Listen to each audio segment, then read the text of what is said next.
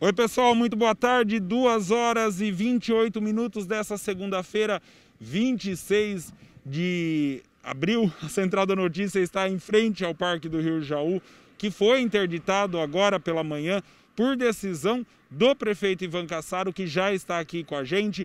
Aliás, ele vai falar com a gente. Antes de mais nada, pessoal, é o seguinte: todo mundo queria a reabertura do comércio, todo mundo queria e precisava da reabertura gradual e consciente dos setores da economia. Não adianta só o dono do restaurante fazer sua parte, não adianta só o comerciante fazer a sua parte. Eu sempre disse: cabe a nós, o povão, nós que, que estamos andando para lá e para cá, fazermos a nossa parte, que é usar máscara, evitar aglomeração e usar álcool em gel. Falando em aglomeração, Parece que o pessoal gostou de se aglomerar aqui no final de semana, né, prefeito? Boa tarde. Olá, boa tarde a todos. É uma situação muito difícil, né? Eu não sei se está havendo algum mal entendimento é, com a questão da reabertura. Nós reabrimos o comércio, estamos reabrindo de acordo com, a, com o decreto do governador e o nosso, do nosso município, mas ninguém falou que não é para usar mais máscara. Ninguém falou que é para ver essa aglomeração que está tendo aqui, entendeu?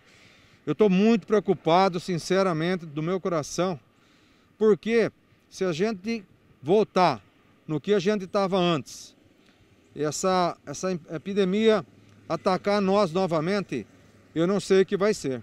Porque a Santa Casa está lotadinha com gente de fora, não do nosso povo. O nosso povo fez os deveres de casa, eu agradeço imensamente em nome de toda a população nossa, mas eu estou vendo que o pessoal que se esqueceu. Né? Nós temos que se precaver. É a máscara, não pode tirar as máscaras. Como o Boni falou, o álcool gel e aglomeração e festas, jamais por enquanto. Nós estamos iniciando né, um trabalho que vocês ajudaram eu fazer. Então não podemos mais relaxar nessa parte. Vou fechar o parque, entendeu? Por precaução, a gente está cuidando de vidas, que é mais importante de tudo isso. E se continuar dessa forma, eu vou fechando continuamente os outros lugares. Os bares também, eu peço por gentileza, pelo amor de Deus. Estamos abrindo aí, nada de aglomeração. Para o pessoal tomar a cervejinha, cachaça para fora, manter a distância. Se a gente voltar de novo no que nós passamos, eu não sei o que vai ser da nossa cidade.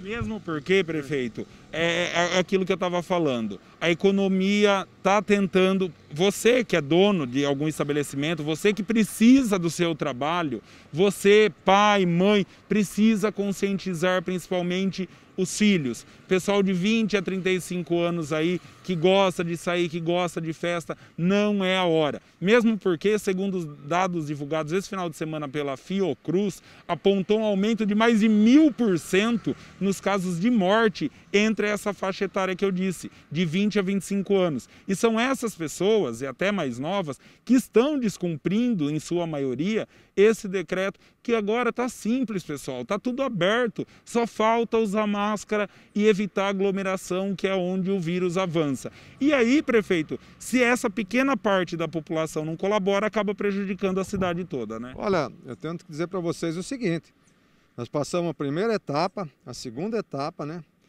Desculpa, primeira onda, a segunda onda, nós temos a terceira onda. Nós preparamos a cidade para enfrentar ela tranquilamente, né? Normalmente. Agora, se vocês não me ajudarem e ajudarem o próximo, é difícil, hein? É muito difícil, eu estou muito preocupado com o que eu vi de fim de semana. E o prefeito de fato viu mesmo, eu vou pedir até para o Lucas passar enquanto a gente está conversando, mostrando aí a sujeira que está aqui, o é. parque inclusive. Isso é o relato, né? É, é, o retrato, na verdade. Tem saco de gelo, tem saco de bebida, o pessoal veio fazer interdição, o prefeito já ligou antes a gente entrar ao vivo, vai ser feita um arremate da limpeza aqui, inclusive, mas não adianta. Tem lixo pelo parque todo, o pessoal não usa o lixo, joga no chão, quebra a garrafa. Aí fica difícil, né, prefeito? É difícil, nós estamos com poucas pessoas também para dar manutenção à limpeza. Como eu disse, eu, eu cortei umas terceirizadas né, para baixar o custo da nossa cidade, para depois esse, esse dinheiro ser revertido em benefício da nossa população. Então é dessa forma que eu estou administrando. Então preciso ajuda da população também comigo. Eu sozinho não consigo. Prefeito, prefeito dá para se pensar em alguma coisa do tipo é, num futuro bem próximo, punir quem não está usando máscara, por exemplo? Olha, esse decreto já está feito.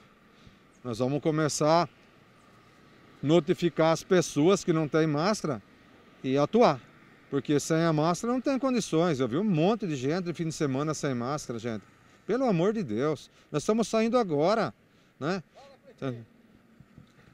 E a ah. população vai passando e dando apoio ao prefeito Ivan Cassaro. Como eu disse, foi eleito com a maioria é, dos votos, com o apoio da população e não pode deixar, falei isso agora aqui para ele, não pode perder essa parte da população que ainda conta com o prefeito em busca desses dias melhores. Os dias melhores também dependem da gente, em relação à pandemia principalmente. Se não usar máscara direitinho e ficar aglomerando, não vai ter jeito. E ainda falando sobre o coronavírus, é, testes foram encontrados no começo do ano pela, pelo pessoal lá da Secretaria da Saúde, eles já estão sendo utilizados e começaram agora, prefeito, numa parceria aí, uma, é, são grandes testagens em massa. Então testou a Prefeitura, testou a Câmara e agora vai testar, inclusive, é, setores produtivos da cidade, podemos dizer assim. É muito importante, né? Cuidar das indústrias, porque elas produzem, geram os impostos, geram os empregos para nós. Então estamos fazendo teste em massa nas indústrias também. Ah, ah, começamos a semana passada e estamos acelerando isso para que a gente termine logo.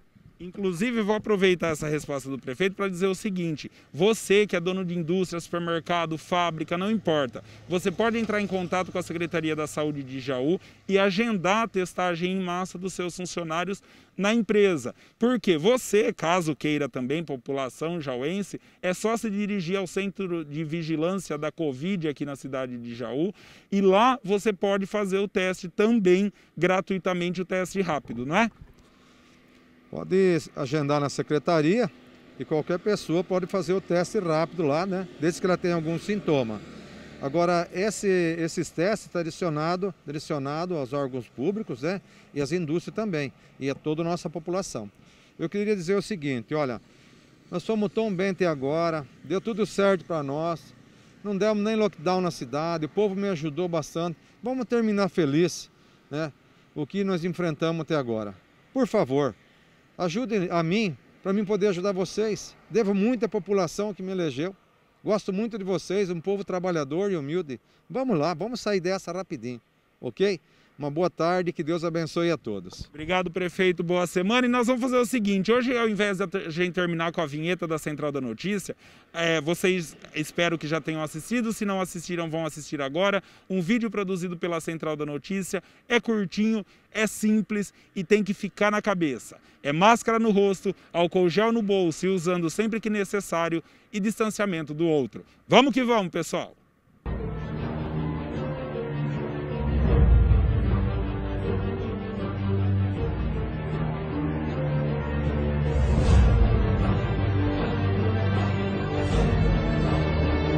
Há mais de um ano a gente vive a mais grave e séria pandemia da história. Milhares de pessoas morreram, outras tantas ficaram sem emprego, sem dignidade, sem o seu comércio, sem o seu estabelecimento, seja ele qual for. E agora está chegando a hora da gente recomeçar. Mas para a gente recomeçar direito, vamos precisar de todos juntos: empresários, políticos, comerciantes, funcionários e nós o povão. O seu restaurante favorito também vai reabrir, mas para tudo isso vamos precisar seguir os protocolos. E o mais importante, você não precisa ser o primeiro a vir comer no restaurante. Vai dar tempo, porque vamos voltar ao novo normal. Sabia que nessa retomada ao novo normal, você vai poder voltar a comprar as suas roupas caso queira e ficar sempre na moda. Mas ó, não adianta vir correndo todo mundo no primeiro dia. Sempre com responsabilidade pensando no outro. Nesse novo recomeço, você vai poder até vir com seus amigos para o barzinho, mas tudo isso vai exigir uma série de protocolos e, como eu disse, vai depender de todos nós. Você vai poder voltar a comprar o que quiser e o que puder? Vai! Vai poder até voltar a passear e economizar nos shoppings da cidade. Mas chegou a hora da gente conversar sério. As coisas vão reabrir, não de uma vez, mas vão reabrir. E como eu falei, precisamos todos ajudar. Ninguém precisa sair correndo atrás daquilo que ficamos sem até agora, não é verdade? Dá para esperar. Precisa, tem que ser daquele jeito, sozinho, de máscara, com álcool gel no bolso e o mais importante, sem contato e com distanciamento do outro. Todos nós precisamos voltar a esse novo normal, descobrirmos juntos como vai ser. Novos hábitos, novos jeitos, novas condutas e principalmente paciência, respeito e empatia. A gente já viu que tudo vai reabrir. E como eu já disse, vai ser tudo escalonado, tudo ao seu tempo. E como sempre, vai depender da gente. E para a gente não ver parar aqui, não se esqueça: máscara no rosto, álcool em gel sempre no bolso e o mais importante, distanciamento do outro. Vai dar tudo certo, só depende da gente.